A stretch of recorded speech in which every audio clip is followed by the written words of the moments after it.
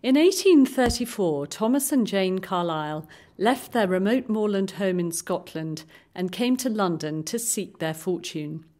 They rented this house in Cheyne Row, in what was then unfashionable Chelsea, for just £35 a year. Here, Thomas wrote his most famous works, including his History of the French Revolution, and the couple entertained the most prominent literary figures of the Victorian age. As custodian of Carlyle's house, I think it's my job to help visitors understand the story of this fascinating couple, Thomas and Jane Carlyle. Thomas Carlyle and Jane Welsh Carlyle really worked as a team from a social point of view, and this house in Cheyne Row was a place of pilgrimage, not only for literary people and political figures and philosophers in Britain, but all over the world. People came from America, people came from Europe to see the great Carlyle, the sage of Chelsea. I suspect if it weren't for Carlyle's house, very few people today would have a clue that they ever existed. And this wonderful time capsule with their, their bibelot, their pictures, their furniture, uh, which is more or less, I think, as it was when Carlyle died in 1881, is the most incredible act of preservation uh, of the life of, of, of two people Obviously, Jane, his wife, they both lived here from 1834, but Carlyle spent 47 years, the last 47 years of his life here.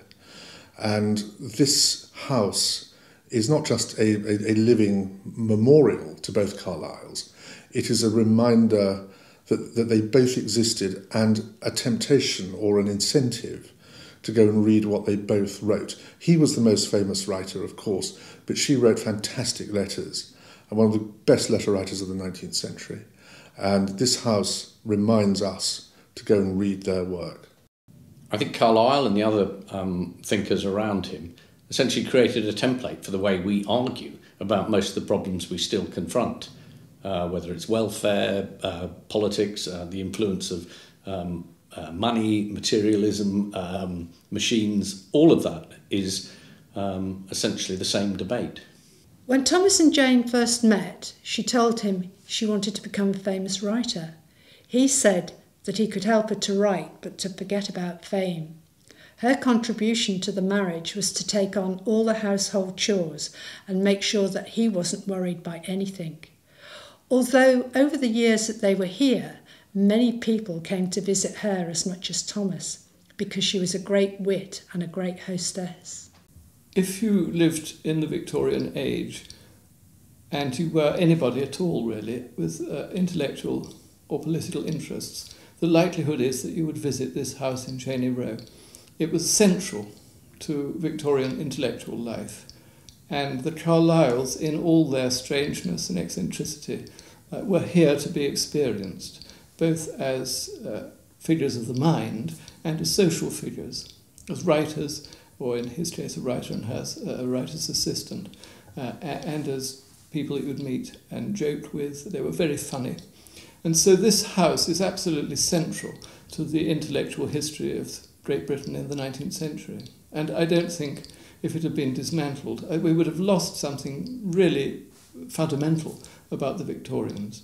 I think particularly now that Carlyle isn't read so widely, it's particularly important that this place is kept going as a monument to all that he stood for. In the mid 19th century, Carlyle was probably the foremost thinker of his time. He was revered by writers such as Charles Dickens, George Eliot, uh, but also by thinkers such as Matthew Arnold and, to an extent, until they fell out, John Stuart Mill. So he was enormously significant. I would imagine if you met Carlyle, um, you might be charmed or you might be infuriated. Um, and it depends what period of his life you got him. He seems to have turned from enfant terrible into terrific old bore, but then that happens to us all. What was Thomas Carlyle like as a man? He was a very good looking person. He was an arrestingly handsome, uh, raw boned, tall, bearded Scotsman. He had a very funny, very distinctive way of speaking the Scottish accent was so strong that many people found it difficult to understand the first few sentences.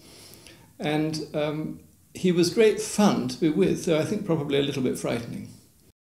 I think Carlyle and those around him were, were a huge influence on his contemporaries. Um, whether they agreed with him or they found his views appalling, uh, he generated a reaction. Uh, he was impossible to ignore. Carlyle was a very difficult man. He was what today we would probably term borderline Asperger's. He loved ranting. He would deliver 20 or 30 minute monologues to his guests and not invite them to participate. But he was a very thoughtful man. He was immensely well read. He reflected deeply on the problems of, of his country and of the world. And he had various ideologies, such as the great man theory of history, which he was determined to propagate. And above all, he was very, very hardworking. He was enormously industrious and turned out an enormous amount of work. It's a fairly obvious point, but the only way to communicate in the 19th century with somebody was either talking to them or writing them letters. The Carlyles had this routine of being apart for much of the summer. He went back to his own folk in Scotland, and Jane remained behind in this house and cleaned it from top to bottom and, uh, and did all the house rearrangements and cleaned the curtains and so forth. So we know quite a lot about their relationship because, uh, unlike many married couples, they wrote a lot to one another during that period. It was a difficult marriage. They were both very strong characters. Uh, they were combative, they quarrelled, but they also, at some deep level, were partners and loved one another. And so I think that their letters, both of which are brilliant on both sides, tell us an awful lot about that complicated relationship. They also wrote to lots and lots of other people. Carlyle himself was in constant touch with all the great intellectuals of the world. Uh, Goethe, when you read the conversations of Goethe, the great German Noel, uh, when he was an old man, he was always looking forward to another letter from the sage of Chelsea, who was himself a very young man at that stage. Carlyle was in touch with everybody. Jane wrote these much chattier letters, but they were also highly intelligent and brilliant prose works. When Carlyle lived here for nearly 50 years, he rented the house for £35 a year. So when both he and Jane had died, the empty house went back to the landlord. A group of admirers raised the money through public subscription and opened it as a shrine to Carlyle in 1895. They continued to run it until 1936 when the National Trust took it over.